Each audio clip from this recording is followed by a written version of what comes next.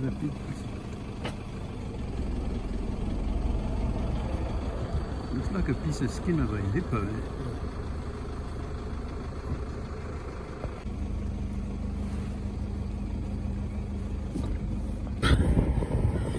Great. Stop.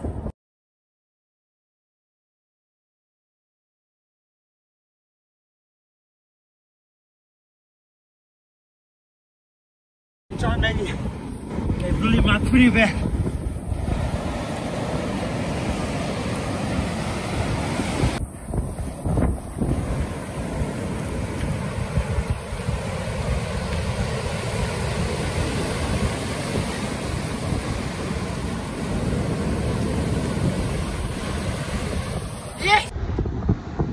So folks, sadly I couldn't get a video of uh, me actually fighting that fish.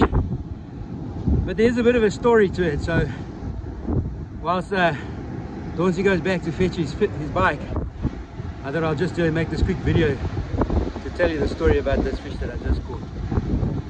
So uh, it's been a while since I got a decent GT and so the focus was try and get one again.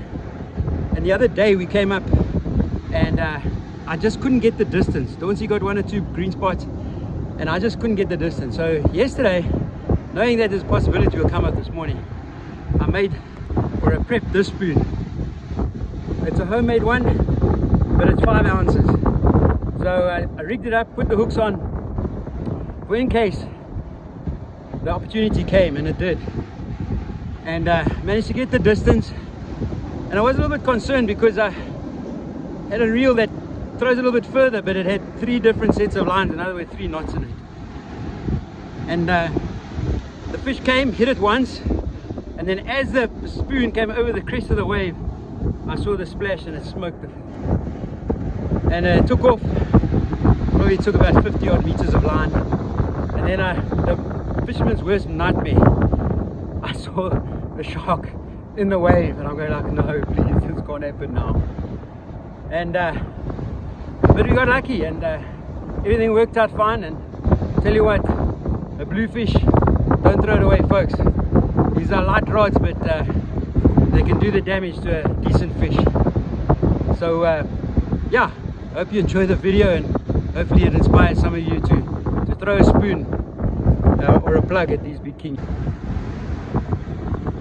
yeah so uh, with the rod being so light and there's lots of reef here at Vidal. Those of you who know the, the beach up north of Vidal, I was uh, pretty nervous of the rocks. And so what I did was eventually I pulled and I went as high as I could up the dune to try and get a different angle on the line to try and pull it over the rocks. Just a little trick that uh, guys must uh, maybe keep in mind when you're fighting these fish, the bigger fish, with lots of rock and reef in front of you. Try and get elevation so you get a a much more acute angle on the line which also helps to land these fish so uh, we're on our way home and it's low tide and this is where I landed my fish. You can see why I was stressing to get him over these rocks without losing it. All right folks so uh, after all that excitement time to go up and see if we can find some some reef fish. That was the plan originally. Obviously got sidetracked by the birds and um, I'm super stoked about that. I'm along and I see this shiny thing on the beach and it looks like a baby whale. Well, hopefully it'll get back in the water. It's close by now to getting back. It's in deeper water. It was right on the water's edge here. Let's see,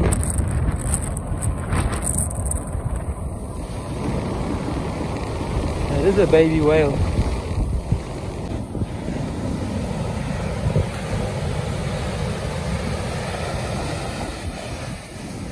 It's struggling to get back in the water. You can see it looks like it's very tired. Come on, waves, push it back in. I don't know where the mother is. It's trying, it's trying. Yep, yep, yep, go, go. Yep, yep, there you go. There's it. There you go. Over the ledge. Wow. Happy days.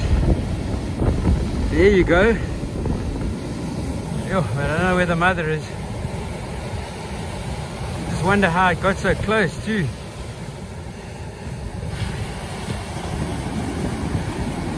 Wow. As I say, I was riding and I look at this shiny thing on the beach flapping around. But I was quite far away. Came as soon as I can, got lucky.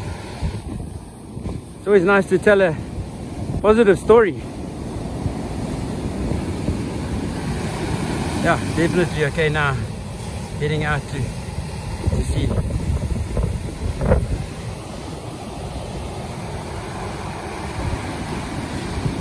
Yeah, I don't know if it'll make it because as I say, I don't know where his mother is. But uh, at least it's going.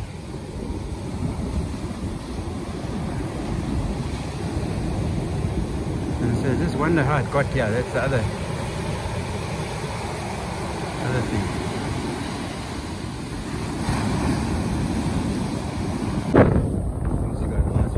looks of things.